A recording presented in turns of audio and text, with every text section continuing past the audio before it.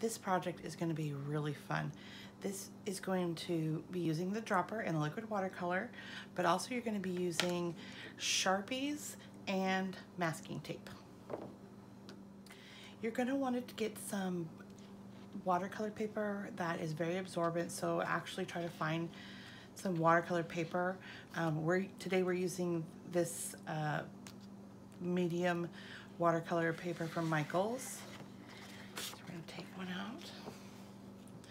And remember to use the side that is, uh, that has the, the texture to it. So there's a smooth side and there's texture side. The first thing you're going to do is write your name on the back, small and in the corner, or actually, sorry, you're gonna write it on the texture side in the front, small and in the corner with a, a Sharpie. So it's like signing your name. So you're gonna do that first.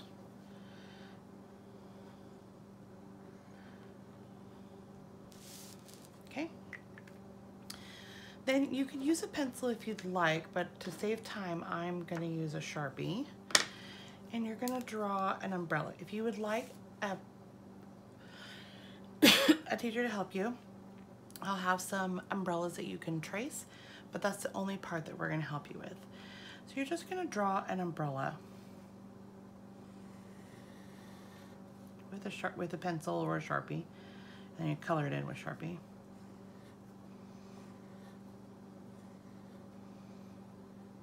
Okay, then you're gonna draw a line, and you're gonna color it in. And remember, you're doing this on the textured side. And make sure you color it all in completely. No little pieces of white or even light pieces. So if you have a Sharpie that is not working, get a new one because you're gonna definitely need it. Then you're gonna draw the silhouette of a person.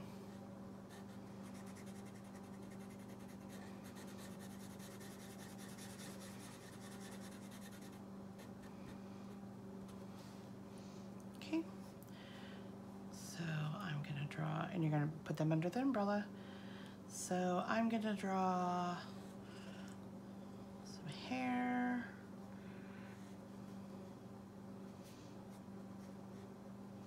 Holding the umbrella.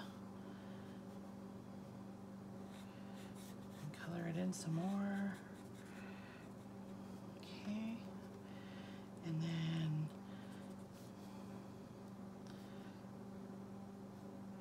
skirt and an arm and another arm and just color it in because you really do, you're just doing the outline. Shoulder.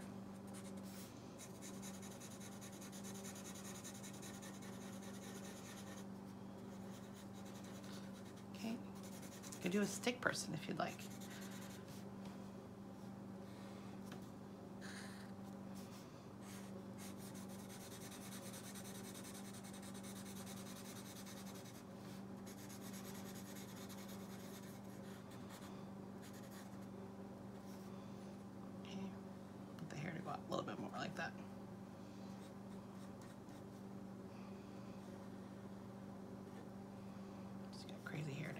Want to draw a bow on the top. Okay, maybe boys, you want to do a baseball cap on the person, or um, maybe you want to do like a like a cool hairdo. Um, whatever you want to do, however you want it to look. Uh, you can wear pants, shorts.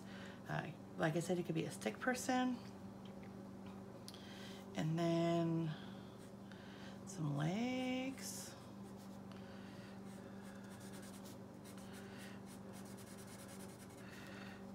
Okay, some shoes. So this person is standing in the rain. Um, maybe you want to do your person walking.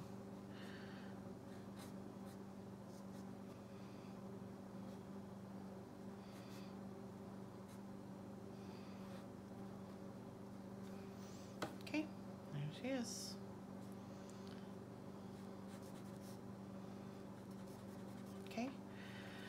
All right, so there is my person. all done with that. And you, then you're gonna take this, this, some masking tape. This is actually painter's tape, so it'll work really well. And you're going to cover your person. And if you want to draw the ground, you can a little bit. Um, I would definitely suggest maybe doing like some ground. Okay. Draw a horizon line if you'd like. If you want something in the background, you don't have to.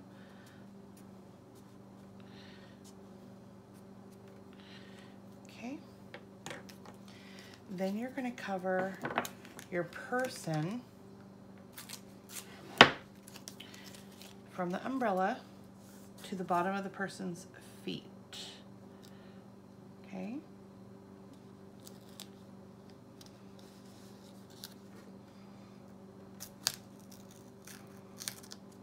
Okay, and you can use some scissors.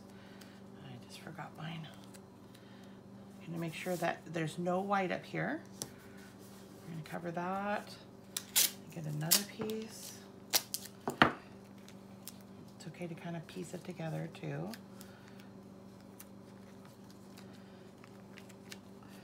But you want to make sure you're from the edge of the umbrella because what you're going to be doing is you're going to make it rain on this on this person.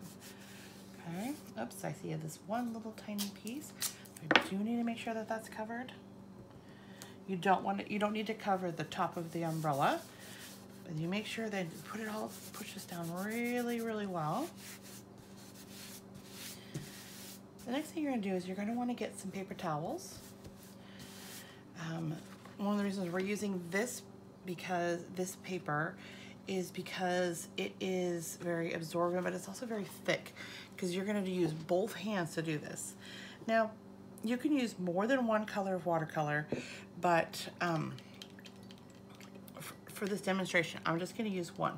So you might wanna make rainbow rain. You might wanna make just blues and greens, or maybe you wanna do purples, or you wanna do whatever color you want, okay? And you're, so I've got kind of a teal green here for this, for this rain. I add a green to it. Um, and you're gonna hold your painting like this. You're gonna get some on your hand, that's okay. And you need to get some paper towels to put underneath got a little too many here.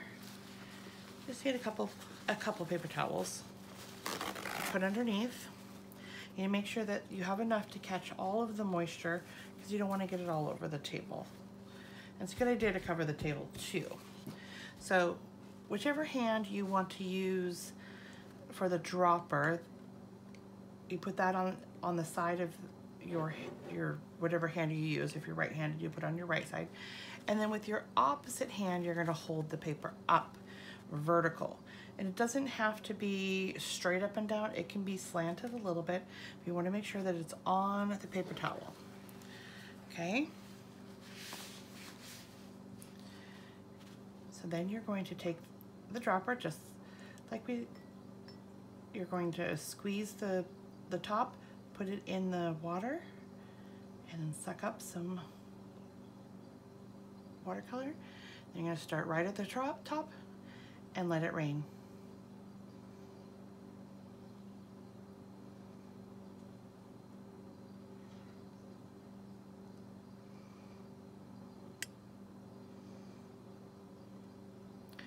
And you can put a tray underneath this also to help you catch the liquid watercolor. And that's what you're gonna do. You're just gonna keep letting it rain. You wanna make sure that it is raining from the very top.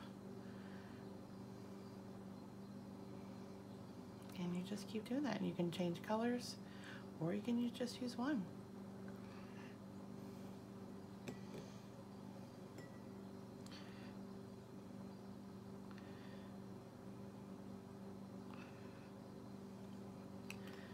And that is what we do.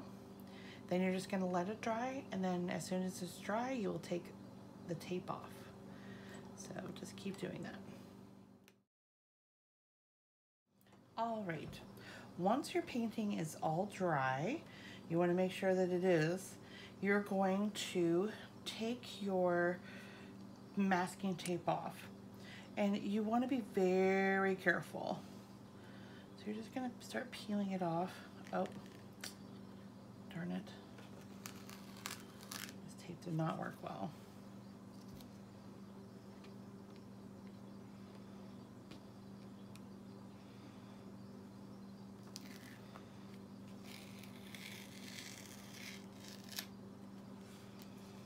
Well, well, this tape didn't work very well because it was painter's tape instead of masking tape. So make sure that when you would do yours, it'll be, you'll use masking tape, all right? And you wanna make sure, cause you want this, this, this white area. So it will turn out really cool if you do that. Okay, so that's the project for today.